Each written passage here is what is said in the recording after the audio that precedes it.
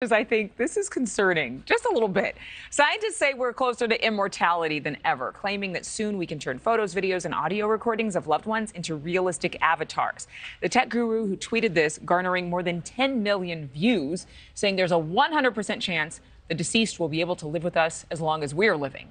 Maybe that'll happen by the end of this year. Joining me right now, Shelly Palmer, professor of advanced media at Newhouse School of Public Communications.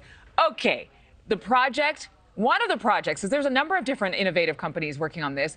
It's called Live Forever.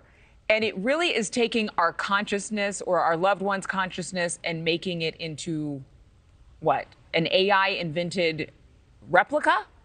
No, this is pseudoscience at its very best, and actually it's fairly misunderstood. Right now, you can use the generative AI tools that we are all excited about, like Chat GPT, GPT-4, Llama, uh, LaMDA, all the various large language models, and you can train them to specifically respond in a style. So in the style of Shelly Palmer, in the style of grandma, in the style of grandpa, if you have enough recordings or enough writings uh, from an individual, you can train the model to mimic their style of speech and even what you would consider their patterns of thought.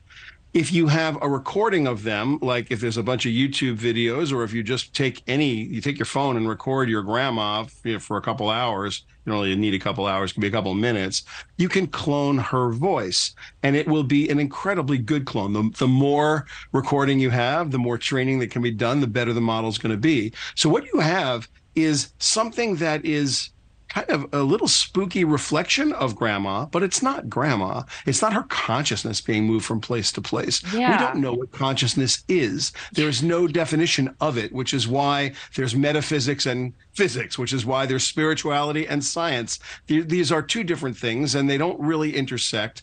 Uh, when someone can define what consciousness is, then we're going to have a much better understanding. Uh, we haven't figured out a, an agreed upon definition of intelligence. One of the things that the large language models don't do well is they don't plan.